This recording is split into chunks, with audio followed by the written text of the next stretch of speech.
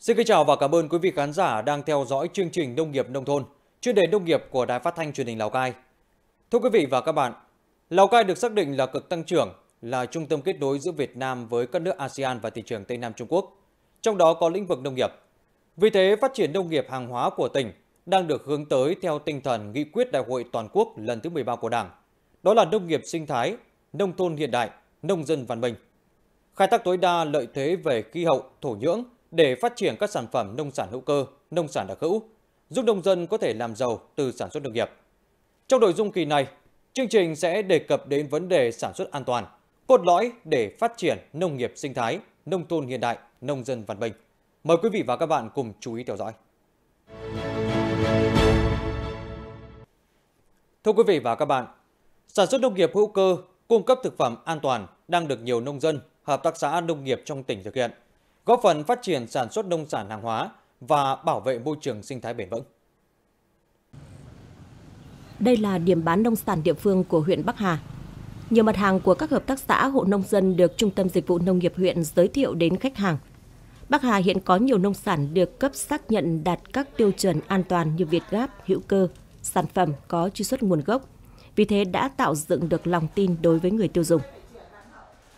Tâm cũng à, tuyên truyền à, với lại tất cả những cái hộ dân mà được tham gia về cái phần liên kết để tiêu thụ cái sản phẩm này thì thứ nhất là phải à, thực hiện thực hành cái à, kỹ thuật là thực hành tốt à, từ sản xuất cho đến à, tiêu thụ.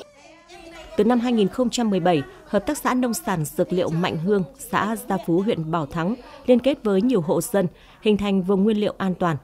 Bốn sản phẩm được chế biến từ nguồn nguyên liệu này đã được cấp chứng nhận đạt sao OCOP cấp tỉnh, là minh chứng rõ ràng nhất cho chất lượng uy tín các nông sản do hợp tác xã sản xuất và được thị trường đón nhận. Ngành hàng của mình là một cái ngành hàng về thực phẩm thì rất ờ, quan trọng đến cái sức khỏe người tiêu dùng. Thế nên chúng tôi cũng luôn luôn cố gắng trong quá trình sản xuất luôn luôn đảm bảo quy trình vệ sinh để đảm bảo về cái chất lượng khai thác lợi thế về khí hậu thổ nhưỡng để phát triển các nông sản hữu cơ đặc hữu. Nông dân Lào Cai là những chủ thể của các sản phẩm có thương hiệu tại địa phương. Tỉnh đặt mục tiêu tập trung phát triển nông sản hữu cơ gắn phát triển nông nghiệp với du lịch, đồng thời đưa nông sản vào hệ thống các siêu thị cửa hàng nông sản sạch trong cả nước và xuất khẩu.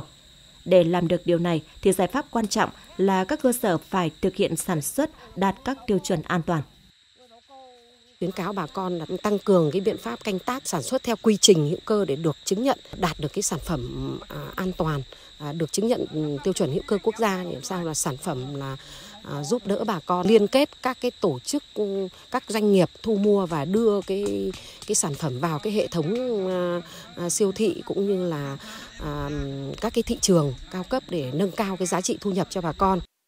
Phát triển nông nghiệp hàng hóa của tỉnh Lào Cai đang được tích cực triển khai theo tinh thần của nghị quyết Đại hội Toàn quốc lần thứ 13 của Đảng, đó là nông nghiệp sinh thái, nông nghiệp hiện đại, nông dân văn minh, phấn đấu trở thành cực tăng trưởng là trung tâm kết nối giữa Việt Nam với các nước ASEAN và thị trường Tây Nam Trung Quốc, trong đó có lĩnh vực nông nghiệp. Thưa quý vị và các bạn, nếu như ở vùng thấp, nông dân có nhiều điều kiện để ứng dụng khoa học kỹ thuật với trình độ canh tác tiên tiến Tiểu huyện vùng cao Simacai, nơi có đông đồng bào dân tộc thiểu số cùng chung sống, thì việc tiếp cận này khó khăn hơn rất nhiều. Nhưng nông dân ở huyện vùng cao này đã và đang thực hiện sản xuất nông nghiệp đạt các tiêu chuẩn an toàn với nhiều cách làm sáng tạo. Đất đồi dốc từng là khó khăn trong sản xuất lương thực, nay lại là lợi thế để giúp nông dân thoát nghèo và làm giàu trên chính mảnh đất vùng cao khi biết chọn đúng loại cây trồng và có cách chăm sóc hợp lý.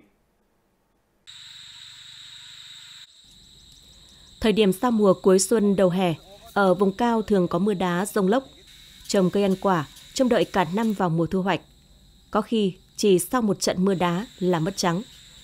Những tấm lưới này đã được anh hàng xeo chùa, xã Lùng Thần, dùng để che cho những cây mận cây lê.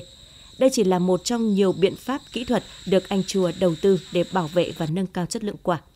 Cây mệnh này trước đây chưa căng lưới thì mưa đá nó vào thì cũng rất là rộng nhiều phòng nông nghiệp hỗ trợ cái lưới này về cho căng thì mấy năm nay thì nói chung là nó cũng rộng ít mà cọ nó cũng đẹp toàn bộ diện tích dược liệu của thôn Lùng Xui bà con nông dân cũng được hướng dẫn canh tác theo tiêu chuẩn an toàn của Tổ chức Y tế Thế giới.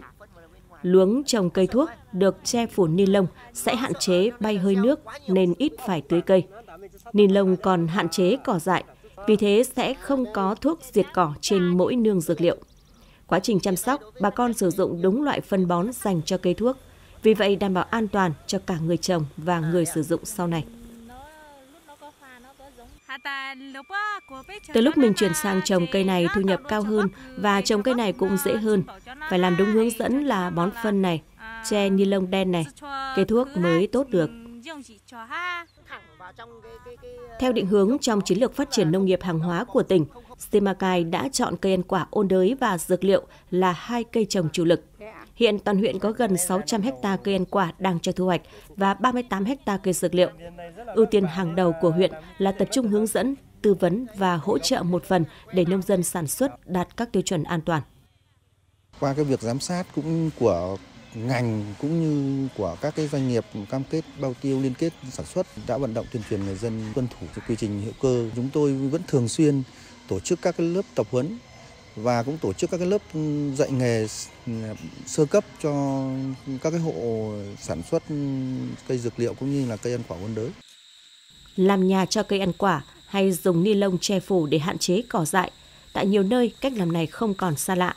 Nhưng với nông dân Simacai thì đây lại là sự thay đổi lớn trong cách nghĩ, nếp làm.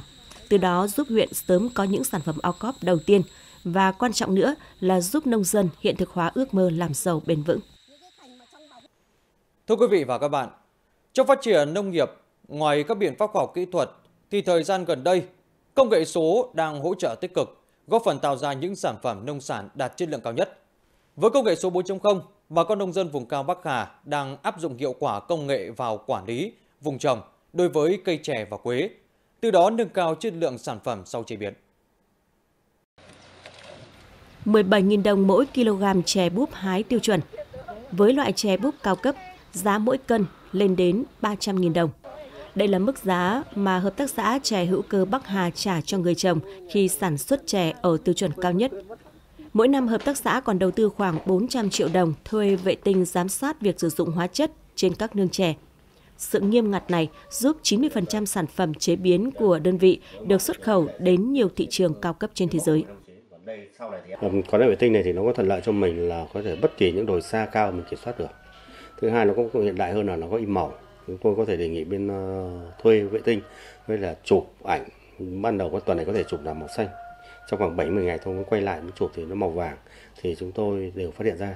Thì khi chúng tôi có thể tại sao vệ tinh giám sát được thì tất cả các vườn chè và các nương vườn mà chúng tôi đều đánh mã số. Mỗi giấy chứng nhận quế hữu cơ này chỉ có giá trị trong một năm. Vì thế công ty hương gia vị sơn hà chủ động giám sát đánh giá vùng quế sạch bằng việc thuê thiết bị vệ tinh GPS để quản lý vùng nguyên liệu.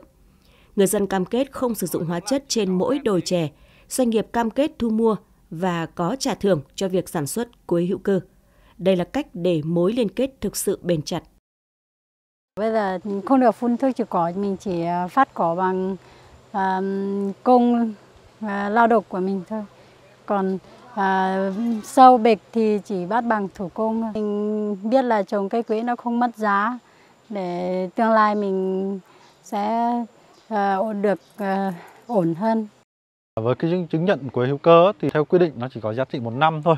Và vì vậy một năm thì chúng tôi uh, lại phải uh, chuẩn bị hồ sơ và mời đơn vị uh, thứ ba về họ đánh giá và cấp chứng nhận lại một lần. Họ sẽ lấy mẫu ngẫu nhiên ở trên cái tổng số nông hộ đấy. Và cả cái kết quả của những nông hộ này là kết quả của cả nhóm. Vì vậy là tất cả các nông hộ đều phải tuân thủ là vì thế. Ứng dụng công nghệ 4.0 trong phát triển nông nghiệp ở Lào Cai hiện mới chỉ tập trung vào từng khâu, từng công đoạn.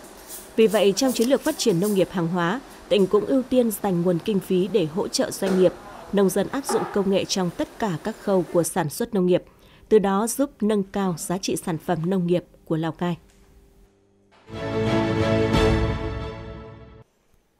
Thưa quý vị và các bạn, trong chiến lược phát triển nông nghiệp hàng hóa đến năm 2030, tầm nhìn đến năm 2050, tỉnh Lào Cai xác định có 6 loại cây trồng vật nuôi chủ lực để các sản phẩm này có chỗ đứng ổn định trên thị trường trong nước và quốc tế, yêu cầu về sản xuất đạt các tiêu chuẩn an toàn được tỉnh xem là vấn đề cốt lõi. Phóng viên chương trình đã có cuộc trao đổi với ông Vương Tiến Sĩ, Chi cục trưởng, Chi cục quản lý chất lượng nông lâm sản và thủy sản về vấn đề an toàn trong sản xuất nông nghiệp. Mời quý vị và các bạn cùng quan tâm theo dõi. Xin cảm ơn ông Vương Tiến sĩ đã nhận lời phỏng vấn của phóng viên chương trình. Vừa qua thì ngành nông nghiệp cũng như các cơ quan chức năng của tỉnh đã có một tháng để kiểm tra các cơ sở sản xuất kinh doanh nông lâm nghiệp trên địa bàn toàn tỉnh. À, theo ông đánh giá thì kết quả của đợt kiểm tra này như thế nào? Triển khai thực hiện tháng hành động vệ sinh an toàn thực phẩm trên địa bàn tỉnh. Thì Sở Nông nghiệp Phát triển nông thôn được giao uh, triển khai cái kiểm tra ở trên 5 huyện thị xã trên địa bàn tỉnh Lào Cai thế và trong cái quá trình kiểm tra thì chúng tôi cũng đã tổ chức ờ, kiểm tra tại 24 cơ sở ờ, sản xuất kinh doanh thực phẩm, đặc biệt là những cái sản phẩm liên quan đến cái sản ờ, của các cái sản phẩm của ngành nông nghiệp. Thế thì qua kiểm tra thì cũng đã phát hiện các cái vi phạm của các cơ sở, đặc biệt là chưa coi trọng đến cái duy trì các cái thủ tục hành chính. Cái thứ hai nữa là các cơ sở ừ, chưa đảm bảo cái nguyên tắc ví dụ như quản lý giám sát lưu mẫu. Thế và cũng, cũng đã xử phạt 17 ừ, triệu đối với bốn cơ sở. Thưa ông qua kiểm tra thì có vấn đề gì nổi cộng cần phải sớm khắc phục ạ? Việc tổ chức kiểm tra và duy trì cái hoạt động giám sát ở tại cơ sở nhất là cấp huyện thị xã ấy, thì người ta cũng ờ, chưa chủ động. Thế và cũng có thể là có những cái ờ, uh, nể nang e rẻ nên là các cái vi phạm uh, của một số cơ sở là vẫn cứ tái diễn. Cái này thì cũng um, tới đây cũng sẽ phải đưa vào các quy định trong việc đánh giá xếp loại đối với các cái uh, địa phương về cái đảm bảo duy trì cái giám sát về an toàn thực phẩm. Quản lý về cái vật tư nông nghiệp dưới cấp huyện thì cái lực lượng cũng mỏng. Do cái diễn biến của dịch hai năm nay thì cái vật tư đầu vào của nông nghiệp là cái giá tăng rất là cao. Chắc chắn là các cái tư thương rồi những cá nhân người ta cũng sẽ có cái sự lợi dụng để đưa những hàng giả, hàng kém chất lượng vào ờ, để ờ, cung ứng ra cái thị trường, cũng sẽ ảnh hưởng rất lớn đến cái sản xuất, kinh doanh của người dân. Thưa ông, để sản phẩm nông nghiệp đảm bảo an toàn ở mức độ cao nhất, à, cơ quan quản lý chất lượng có biện pháp quản lý như nào cho hiệu quả trong thời gian tới? À, hiện nay thì ừ, cũng có rất nhiều cái biện pháp. Thứ nhất là trong cái quản lý giám sát theo ờ, quy trình thì chúng tôi cũng đã duy trì rất nhiều năm nay rồi cái thứ hai nữa là chúng tôi thực hiện cái hậu kiểm khi các sản phẩm của các doanh nghiệp công bố về chất lượng thì sẽ tiến hành cái hậu kiểm để xác định rõ về cái chất lượng của sản phẩm.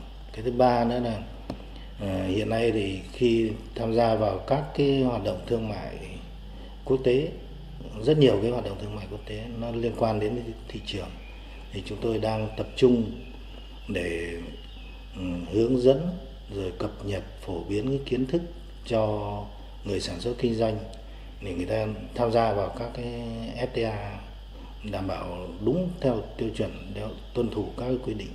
Và cái thứ tư nữa là trong cái hệ thống minh bạch thông tin cái sản phẩm hiện nay thì bằng cái công nghệ 4.0 thì chúng tôi cũng đang hoàn thiện để quản lý giám sát tất cả các dòng sản phẩm. Và các cái cơ sở sản xuất kinh doanh người ta cũng ngoài cái việc công bố thì người ta cũng sẽ được tham gia vào cái, cái sàn thương mại điện tử đó để người ta chứng minh được rằng cái sản phẩm đấy là đảm bảo chất lượng. Vâng ạ, xin cảm ơn ông đã nhận lời phỏng vấn của phóng viên chương trình. Thưa quý vị và các bạn, sản xuất nông sản an toàn đang được nông dân, doanh nghiệp, nhà khoa học và cơ quan quản lý nhà nước cùng vào cuộc, giúp nông sản của Lào Cai đạt chất lượng cao nhất khi tham gia vào thị trường và đó cũng là giải pháp để sản xuất nông nghiệp của tỉnh phát triển thực sự bền vững, mang lại giá trị kinh tế cao nhất, giúp nông dân không chỉ thoát nghèo mà còn thực hiện ước mơ làm giàu. Tới đây thời gian dành cho chương trình Nông nghiệp nông thôn, chuyên đề nông nghiệp của Đài Phát thanh Truyền hình Lào Cai cũng đã hết. Cảm ơn quý vị và các bạn đã quan tâm theo dõi. Xin kính chào tạm biệt.